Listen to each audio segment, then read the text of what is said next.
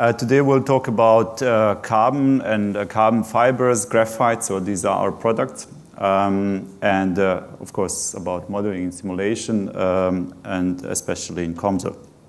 So uh, Richard showed uh, two days ago a very nice brief history of COMSOL, so I show also um, how our company started. So it started actually in 1878, and it was part of Siemens at that time. And the first thing they did uh, were to produce compressed charcoal. And in 1920 was founded our largest plant, uh, the plant where I come from, in Meitingen, so it's, uh, next year will be exactly 100 years. For us from uh, modeling and simulation, I think this milestone is also very important. This is the, our first multiphysics simulation uh, code, which was written by my first supervisor in 1984. And at that time, uh, we could simulate uh, in 1D uh, Joule heating with thermal stresses. So uh, I'll tell you now a few words about where are we now, uh, where are our products used. I think for one company, it's uh, important that it's somehow involved in this megatrends that the, the, the, whole society is following. And one of them would be certainly renewable energy. It's not obvious here why carbon has something to do with it, perhaps, but um, a, with solar panels, when you think about solar panels, they are made of silicon. And for silicon, uh, you need a lot of graphite and carbon uh, materials. Uh, for uh, wind power turbines, um, uh, the, the largest wind power turbines are made of carbon fibers. So, um, and um, which is driving the, the, the, the maximum power that they can generate. Uh, the next trend would be the digitalization. So semiconductor industries, LEDs, um, these are uh, typically um, um, so materials like silicon carbide, like uh, gallium nitride. So they are made also in uh, um, graphite reactors. So for the epitaxy, you need graphite uh, coated sil silicon carbide coated graphite to produce them. Uh, for the mobility, uh, we have uh, cars like BMW or many upper class uh, cars that have carbon fibers either in pillars or uh, in uh, chassis or in brake discs. Um, and for airplanes, it's also obvious that the lighter they are, the, the, less energy they need. And in the future, it it's, uh, it applies the same because for lithium-ion battery, we saw just now in, in a, previous presentation uh, how the market is growing for electric vehicles, and for the anode, you need graphite. The same applies, uh, by the way, also for the fuel cells, because there we have also our materials for uh, gas diffusion layer. Um, and also, sorry for the, uh, I think some people here from Lausanne, uh, this is the team from TU Munich but I think you also use carbon fibers for your hyperloops. So I think this is also part of the, of the future applications where we also have our material. So I can conclude, I mean, these, are, these were the megatrends, but there are many other applications uh, where we use um, our materials and where the graphite and uh, carbon fibers especially are needed. So there's a large contribution um, to the modern world. So uh, I think you are more curious about the role of modeling and simulation and, and, uh, and what are we doing. And, um, and actually, um, we, uh, we are trying to simulate the entire value chain, the, the whole uh, production process. We have several uh, process steps, um, independent what material do we produce, and also, of course, their application, what is important, what's relevant for these materials to satisfy. And we work also um, Actually, since a year or two, we do also uh, such simulations also for our partners who work with us. Um, so I show you a few examples from the production, application, and material development. And there will be 3D, 2D, 1D, so uh, I try also to go uh, also to the, to, to, the lower scale.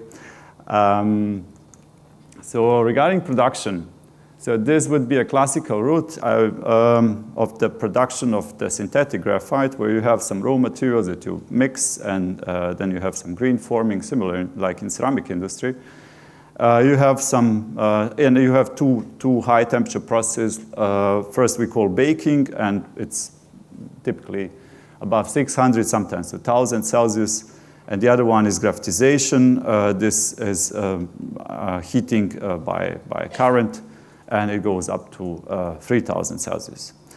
And as you see, many of these processes uh, are simulated in, in, in, our company. So I just uh, tell a few words about the graphitization.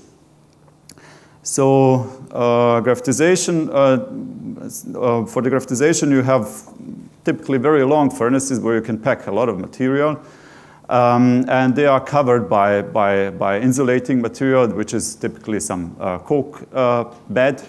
Uh, and it protects the material uh, from oxidation, and also uh, it's a thermal insulator. So you, you uh, let the current flow through the material, and it heats the material.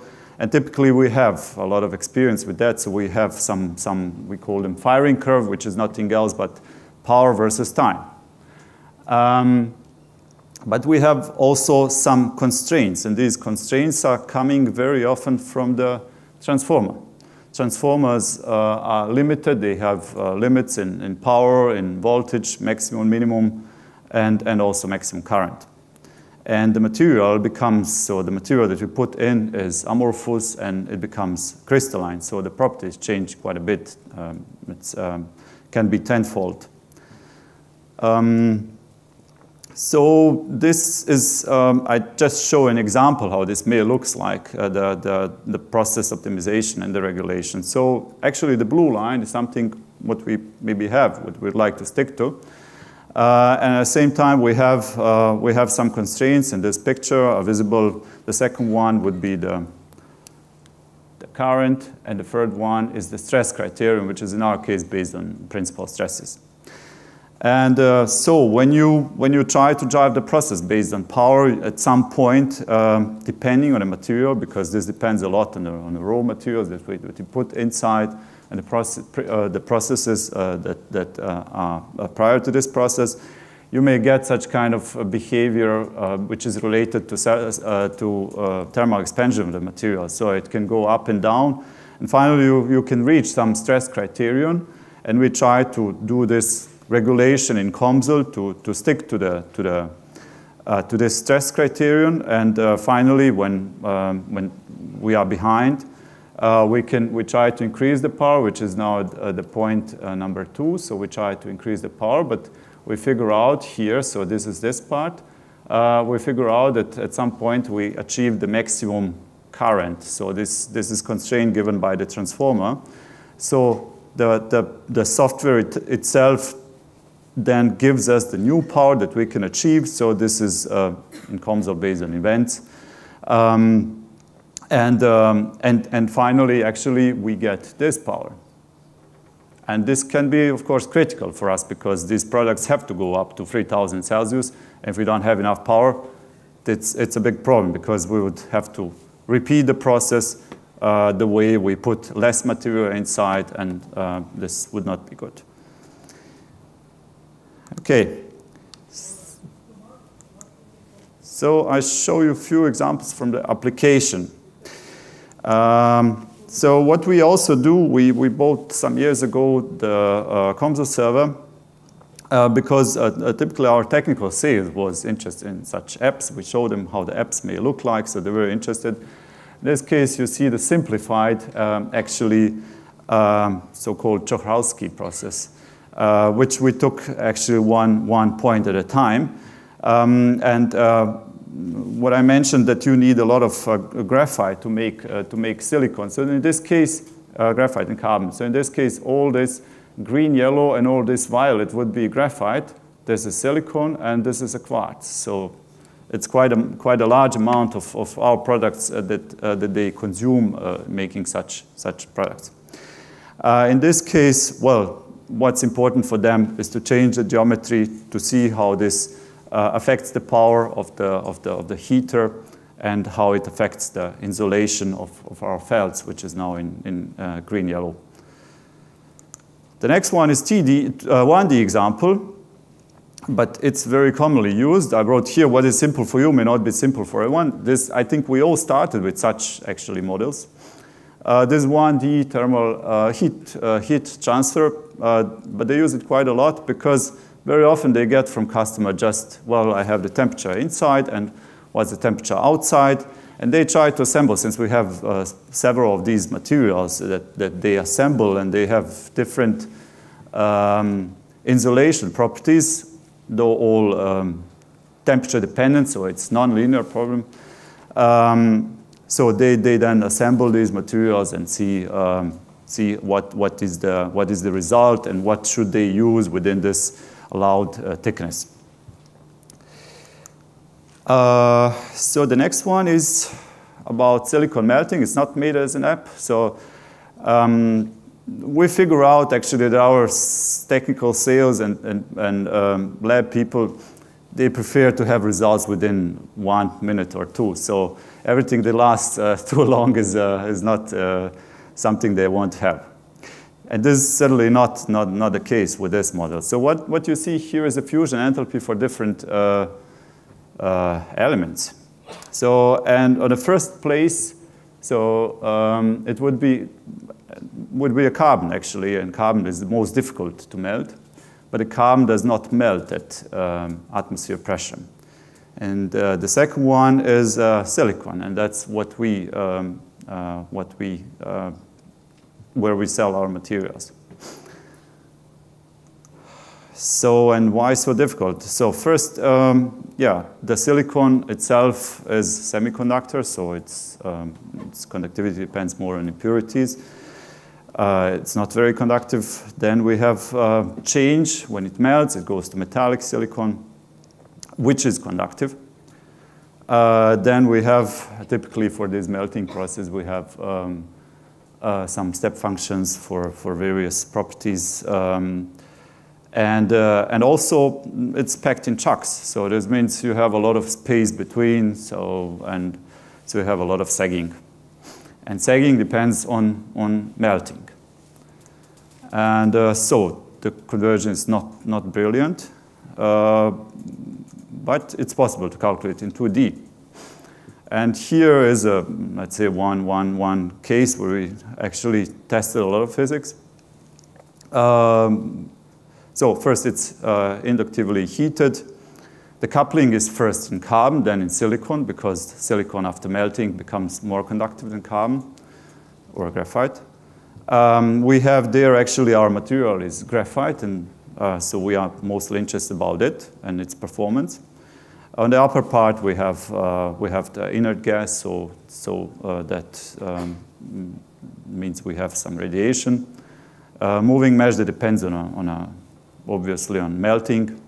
And finally, we have, um, we have some, we calculate the stress in carbon during, during this melting and, and also the silicon carbide forms on the, on the surface. And this is, uh, I would say, a lot of physics, but on the other side, it's only part of the physics that actually happen in the material. But what we can calculate with that, uh, we try to uh, investigate uh, properties of the material, so in design of the material, a design of our crucible, shall we change something? Um, then uh, the influence of the ramp-up phase, so how the customer, uh, how fast they, they, they increase the power. Um, then uh, influence of the loading quantity, because this sagging we have obviously, so we have different kind of couplings in the, in the material. Um, the insulation is certainly always in thermal stress. You have some, some um, um, it, it, there is some, some importance uh, in the insulation, how, how well insulated, how homogeneous temperature profile. And certainly we have silicon uh, infiltration depth. And there's the process of melting, so this is how it looks like basically with a, with a very large sagging. And uh, the next picture is for us, uh, I would say, more important. We see here the numbers are relative, but um, I think for, this, for the presentation is, is, is uh, sufficient. So uh, we see that uh, the, how the stress changes in the material. This is for one silicon carbide thickness. Um, and uh, we may see also that this, since this is a cyclic process, it's not one application that the crucible is reused. Uh, we see that uh, this may um, uh, be quite a bit changed if we have, uh, if we have this maximum stress, if we have deeper or if we have thicker layer of silicon carbide. And, uh, and obviously we have to care about, about uh, permeability of our material, which is actually introduction for the next step, material development.